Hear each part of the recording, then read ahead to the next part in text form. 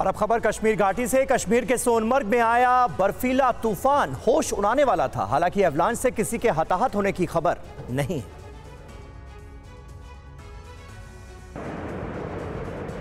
बर्फ़ का सैलाब।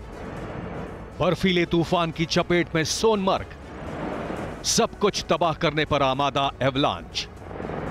पहाड़ों पर यह कुदरत की खौफनाक तस्वीर है।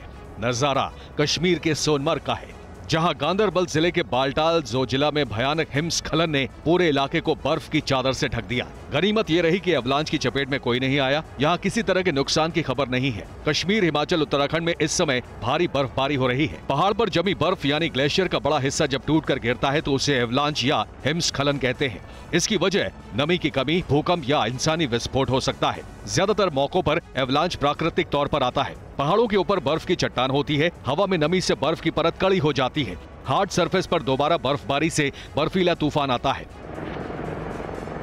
एक एवलांच लाखों टन बर्फ़ को समेटते हुए आगे बढ़ता है। कई बार इसकी रफ्तार 300 से साढ़े तीन किलोमीटर प्रति घंटे से भी ज़्यादा होती है।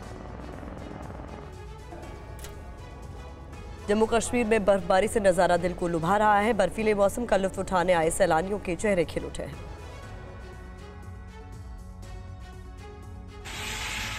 बर्फीली वादी और बर्फ़ के सफ़ेद चादर में लिपटा यह आसमान स्नोफॉल की खूबसूरत तस्वीरें जम्मू कश्मीर के तंगमर की है जहाँ ताज़ा बर्फबारी देखने को मिली।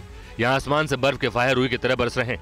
आसमान से लेकर धरती तक सब कुछ बर्फ़ के आगोश में है। सड़कें बर्फ़ के सफ़ेद चादर से ढकी ताज़ा बर्फबारी से ठंड और बढ़ गई है लेकिन बर्फीले मौसम का लुत्फ उठाने आए सैलानियों के चेहरे खिले हैं। गुलमर्ग पहुँचने से पहले सैलानी तंगमर्ग में बर्फबारी का लुत्फ उठा रहे हैं। ये मौसम पहली बार देखा।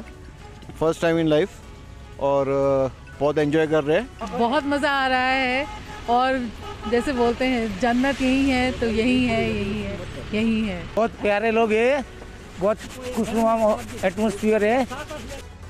इस बीच मौसम विभाग ने जम्मू और कश्मीर के कुछ हिस्सों में भारी बारिश और बर्फबारी की चेतावनी जारी की है। एमडी के मुताबिक खराब मौसम का जम्मू श्रीनगर राष्ट्रीय राजमार्ग श्रीनगर लेह राष्ट्रीय राजमार्ग और मुगल रोड पर खासा असर रह सकता है।